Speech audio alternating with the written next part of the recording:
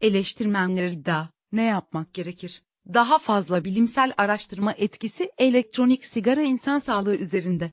Onlar da inanıyorum ikna gençlik hareket normal sigara gelecek. Bu yılın başlarında yönetimi ve kontrol ürünleri ve ilaçlar ile Amerika Birleşik Devletleri, FDA, tavsiye şirketleri üreticilerinin 2021 başvuruda etkisi bir değerlendirme kendi mal.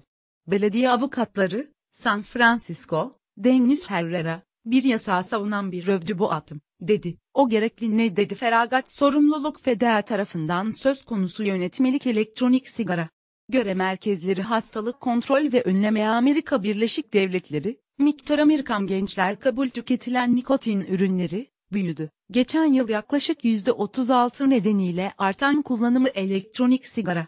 Federal yasaya göre, yaş sınırı için satın alma tütün ürünleri 18 yaşında olmasına rağmen, Kaliforniya ve diğer bazı devletler o ise 21 yıl. Daha önce Juul belirtti destekler kullanımını azaltmak için elektronik sigara, gençler arasında, ama sadece birlikte daha sert önlemler sınırlamak için kendi erişim geleneksel sigara.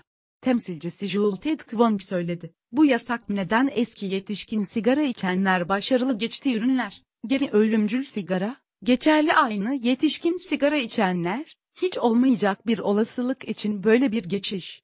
Ayrıca yaratmak ve başarılı bir siyah pazar yerine, çözmek için gerçek nedenleri erişim için çocuk tütün ürünleri.